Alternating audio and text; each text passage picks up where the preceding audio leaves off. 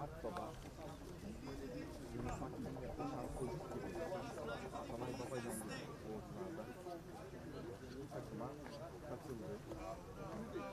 Şu an kişiye ara veriyoruz. Orayı sahaya geçtik. Orada var.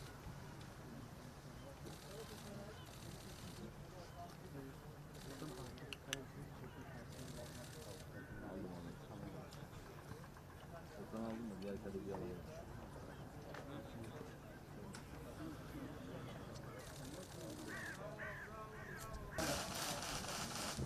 هذا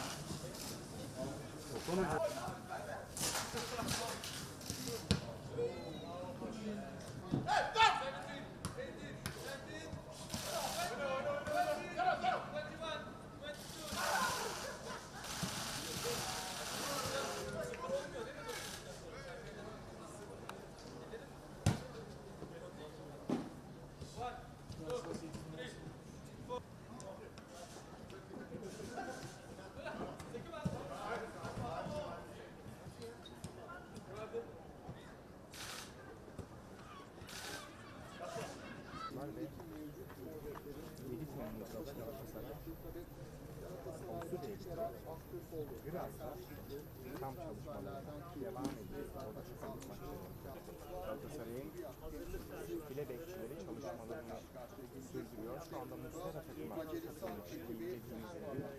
O da 4 Temmuz'da takıma katılacak. Daha